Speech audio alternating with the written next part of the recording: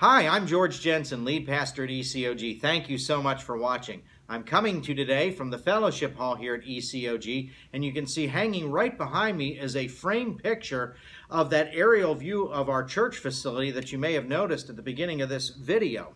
Now, I also have before me uh, the actual original plans of the building. And um, I'm rolling them out here today, not so much because I want to talk about the building or building plans, but rolling out these plans sort of reminds me of an old war movie where the generals come together and they study the battle plan. They roll out their plans and they uh, find out how they're going to proceed in the battle. Now, the reason I'm doing this is this Sunday here at ECOG, we're continuing our message series, Defeating the Darkness. Our topic this Sunday from Ephesians chapter 6, verses 10 to 13, is Study the Battle Plan.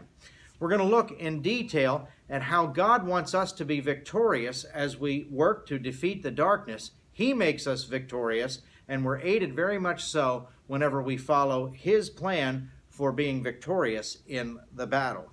Speaking of what's going on here at ECOG, let's take a look at what we have on the clipboard. This Sunday, we do have worship at 8 and 10.15 a.m. We have Sunday school at 9 a.m. Also, on Saturday, we have our women's fellowship breakfast at 9 a.m. All ladies, you're welcome to come to that. And this isn't on the clipboard, but I'll give you a little bit of a hint for those of you out there that are youth. I hear that there may be a special youth event going down Friday night you may want to check back on the 412 youth page or contact one of the youth leaders to see what that's all about if you're interested.